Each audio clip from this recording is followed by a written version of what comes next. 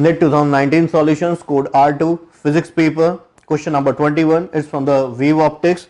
Here in the double slit experiment YDSE Young's double slit experiment when a light of wavelength the wavelength is given here the capital D is given the theta initially is given as 0.2 degree clear?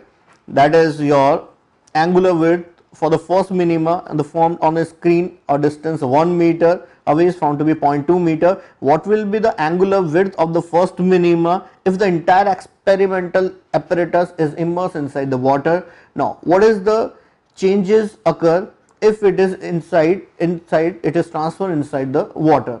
Now, here according to the formula that theta is equal to lambda by d where the d is same capital D is same small d is also same in the question because the whole apparatus is inside the liquid shifted in the liquid. Then you can see that theta is proportional to the lambda and if the medium is changed then lambda is transferred or replaced with the lambda by mu.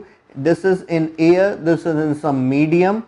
Then theta is also replaced with the theta by mu. That means if initial theta is 0.2 then theta by mu where mu for the water is 4 by 3 divide by the 4 by 3 we get 0.2 into 3 divided by 4 here after the calculation we get the new angle.